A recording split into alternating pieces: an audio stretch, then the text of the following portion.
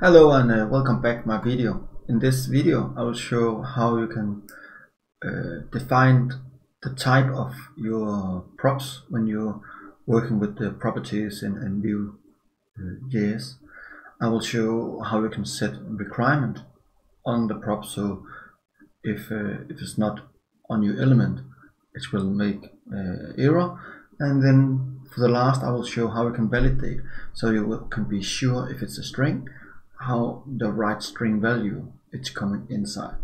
So let's beginning. I'm uh, make a copy of my earlier project, the child uh, component props. So you can see this is what we left last time we working with it. So go for for the view file, the the child, because now uh, no to the hello view. Why? Because we, we need one more data data view should be there. And inside here I will say list view and uh, list view, list view and grid view. That's what we do in the in a hello view component. Then we go back for child component. Because we need now to say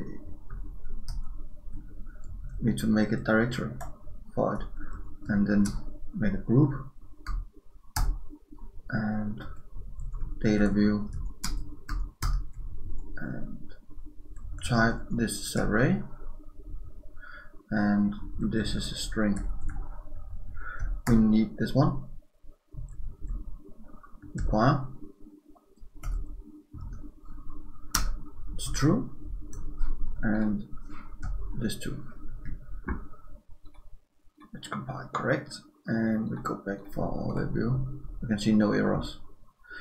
If I'm going back for for view here and make a string like uh, make it empty you can see nothing happened because empty is still validated uh, if you remove this, it will make error here missing uh, prop groups because we need, need the element. So the child could not make the for loop so that's making errors. That's why we validate on that. I can uh, go inside here to say um, nothing and that's working too. So let's go in for the next step. Um, I need to say validator. Whoops.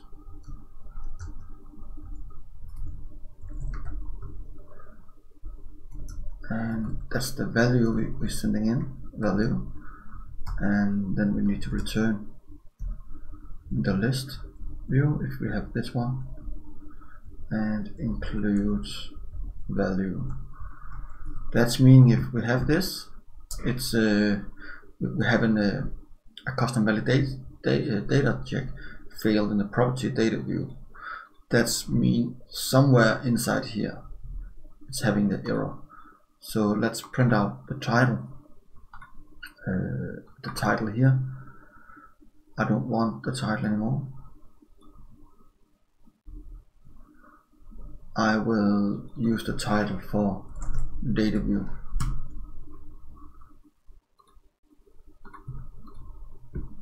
Oh, sorry. Just did it again.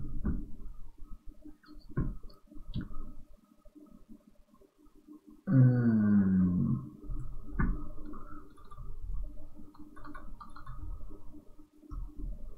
Should work this one.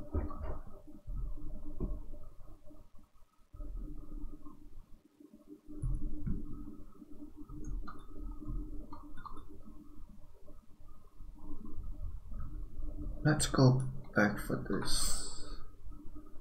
I'm pretty sure it should work. Working here yeah. And if I do it with the test. It's working too here. Okay. It's because I'm returning. Nothing. And um, that's not allowed. Okay. Let's leave it. No problem. And I'll say this that's working this data view means. We're taking the data view uh, from a property here and we still get an error. Because our custom validation check of the property we have one inside here to, to grid view. So if you want this to be allowed that would be nice because then we can make different of our view ups here if you want so no problem here. And uh, thank you for watching my video. I hope that makes sense for you how you can work with the properties and how you can define types and it's required or not and how you validate it. If you have any questions please make a comment below. I hope you want to like this video and I hope you want to subscribe my channel. And of course add it to your playlist and share it for your friends. See you next time